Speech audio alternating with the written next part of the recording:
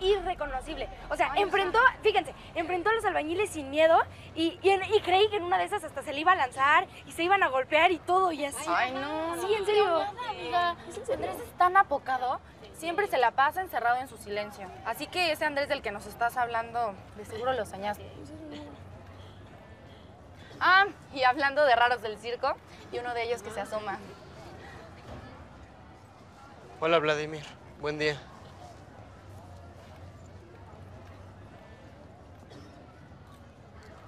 Vladimir, oye. Hey, Oye, ¿por qué tienes esas atenciones con Vladimir? Digo, incluso me obligaste a invitarlo a mi fiesta en mi casa. lo hago porque sé que se siente solo.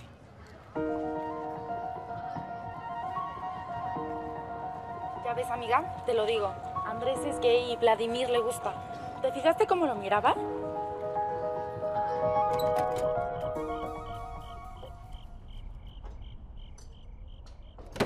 Qué bueno que llegas, mi amor. Ya está lista la cena. ¿Dónde está Andrés? Fue a la fiesta de una de sus compañeras de clases. ¿Cómo lo dejaste ir? Nuestro hijo no está bien, Damiana. Ya basta, Juan Pablo. No voy a permitir que sigas tratando a nuestro hijo como si fuera un loco delincuente. Lo hago por su bien. No quiero que Andrés cometa una estupidez como ya lo hizo.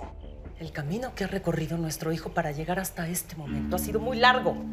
Y te advierto de una vez por todas que no voy a permitir que seas una piedra en su camino. Yo amo a mi hijo. Y solo quiero protegerlo y hasta de él mismo si es necesario. Te estás equivocando. La mejor manera de protegerlo es estar cerca de él, sin juzgarlo. Si no cambias tu actitud, vas a perder a nuestro hijo para siempre.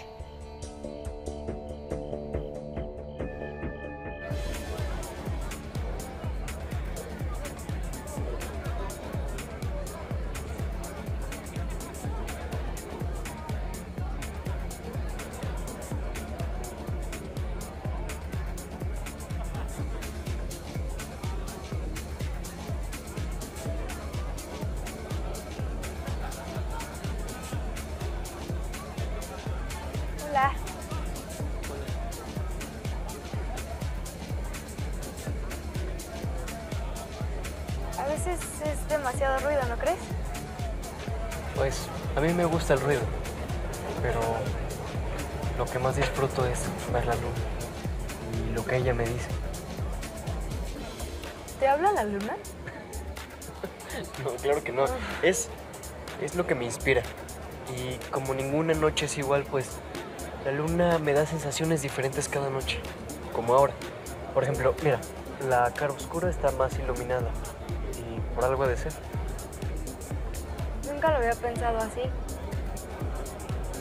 La luna para mí solo es eso. Luna. Mira, obsérvala. Y dime qué sensaciones tienes. ¿Qué te dice? Me dijo que. que eres el ser más especial que conozco.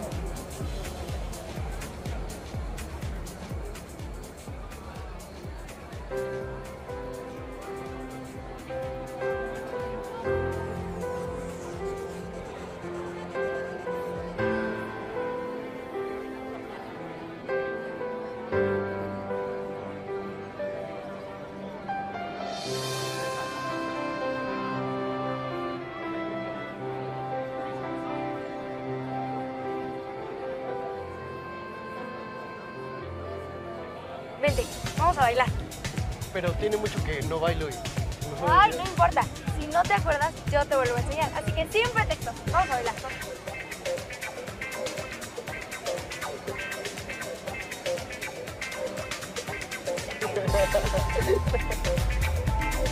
¡Corten la música! Tengo un regalo para la cumpleañera y para todos.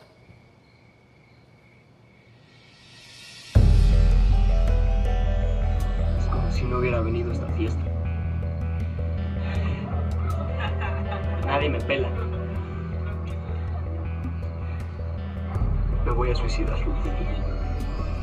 Pero antes, quiero matar a todos mis compañeros. ¿Quién no nos dice que un día nos va a matar a todos? ¿Quién no nos lo dice? Un día nos va a matar a todos.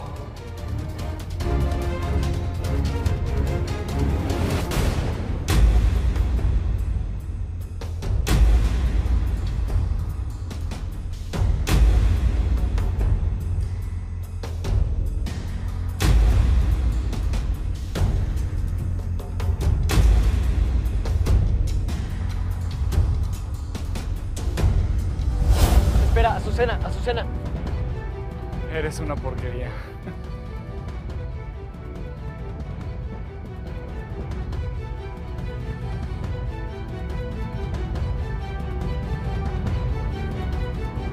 Que siga la fiesta, que siga la música.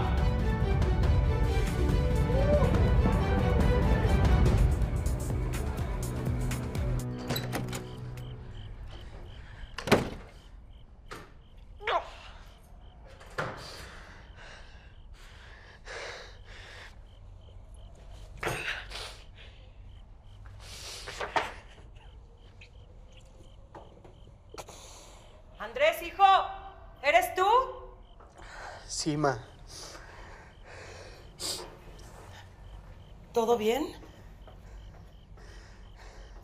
¿Cómo te fue la fiesta? ¿Por qué regresaste tan temprano?